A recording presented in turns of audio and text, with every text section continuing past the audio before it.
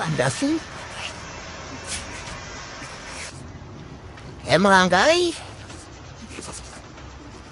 So, install tayo ngayon. Seat cover. Ang unit natin, JL Grandia 2023 model. Eh mga kayo, black at saka beige combination. Yan. Doon, may labit na natin to. Dito sa unahan. Check natin. Ayan mga kay, may kabit na rin. Yan. Ano mo nga kay? First row, natapos na natin yung kabit. Ang seat cover. Ayan, kita niyo naman mga kay, napakaganda. Ang combination ng kulay natin mga kay ay black at saka beige. Yung beige kasi, ibinagay dyan. Kaya mga kay, sa kanyang... Kaya yan, mga ceiling yan. Tsaka itong siding mga kay. Kaya mga kay ha. Paano ganda? Makikita nyo. Ayan. Na dyan. Dito. Ayan. Kaya mga kangkayan. Ayan. Kitang kita ang kagandahan ng unit kapag naka leather seat cover. Doon lang mga ang kaya maganda.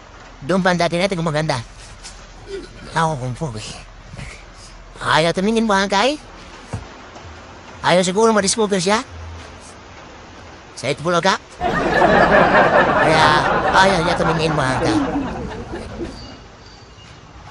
Second row mga angkay. Ayan, ayan mga angkay. Second row.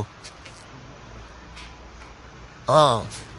Ito first number mga angkay. Hmm. Natin mga angkay. Children dia. Oh. Yan. Eh mga angkay. Si Tornens. Hello? Ah, ayos ah. Ah, sabi sa Torlin ah. Ah, Torlins. Oh, ayos na. Ah, okay ah. Grabe na matapos. Ang seat cover natin para sa JL Grandia. At yun nga mga kain, natapos na tayo mag-install ng ating seat cover para sa Toyota IS JL Grandia 2023 model. Ayan mga kay. Black beige combination. Ayan, sa unahan. Napakaganda ng fittings. Ayun, yun mga kay. Deliver pa ang dalawang unan yan at saka neck pillow. Lago lang mo. Ayan mga kay. Dito, first row. Ayan, napakaganda mga kay. Yan. Pinagyan din natin ng floor matting yan mga kay. Checkered na kulay gray. Yan, second room. Install na rin natin lahat yan. Mga kay. Mga kay, kung sino man may gusto magpag-anong ganyan, seat cover, ano man ang sasakyan nyo, van, SUV, sedan, pickup, Ah, uh, message lang kayo sa aming Facebook page, Lodge Banok Accessories. Sa aming YouTube channel, Lodge Banok Accessories Mahangkay. Ang area namin ay Imus, Cavite, Morangkay. Yan, check natin yung likod. Tingnan natin sa likod Mahangkay. Ayan, makikita niyo Mahangkay. Nakalabas yung kanyang cup holder at saka yung kanyang lagay ng basura. Dahil ang unit na yan ay Toyota Used Gale Grandia. Nakalabas talaga yung mga kay. Hindi pwedeng ipasok yan sa loob ng seat covers. So yun lang mga kay. Maraming maraming salamat. Oh, wonderful.